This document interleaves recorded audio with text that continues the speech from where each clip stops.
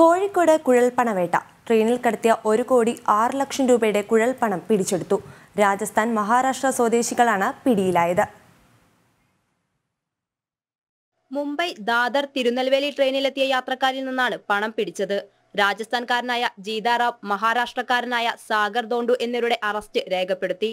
മുംബൈയിൽ നിന്ന് കോഴിക്കോട് സ്വദേശിനിക്ക് നൽകാനാണ് പണം കൊണ്ടുവന്നതെന്ന് പിടിയിലായവർ പറഞ്ഞു. കുഴൽപ്പണക്കടത്തിന്റെ പിന്നിലുള്ളവരെ കുറിച്ചും പണം ആർക്കുവേണ്ടിയാണ് കൊണ്ടുവന്നതിനെ സംബന്ധിച്ചുള്ള സൂചനകളും പോലീസിന് ലഭിച്ചിട്ടുണ്ട്. അന്വേഷണം പുരോഗമിക്കുകയാണെന്നും R P F crime intelligence inspector N Keshavdas പറഞ്ഞു.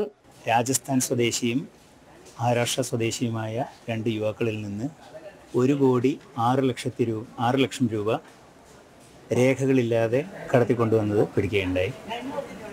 ഈ തുക ബോംബെയിൽ നിന്ന് കോഴിക്കോട്ടേക്ക് കടത്തിയ രേഖകളില്ലാത്ത ഹവാല പണമാണെന്നാണ് വിശ്വസിക്കുന്നത്. കടത്തിയതിന് യാതൊരു രേഖകളും ഉണ്ടായിരുന്നില്ല. അതുകൊണ്ട് ഈ തുക അവരെ സഹിതം അറസ്റ്റ് ചെയ്ത് കോഴിക്കോട് ഇൻകം ടാക്സ് അസിസ്റ്റന്റ് ഡയറക്ടർക്ക് തുടർ നടപടികൾക്കായി കൈമാറ്റം ചെയ്തിട്ടുള്ളത്. ബാഗിൽ പല അറകളിലായി നിറച്ചായിരുന്നു പണം കടത്തിയത്. രണ്ടായിരം രൂപയുടെ അൻപത്തിമൂന്ന് കെട്ടടങ്ങിയതാണ് കുഴൽപ്പണം.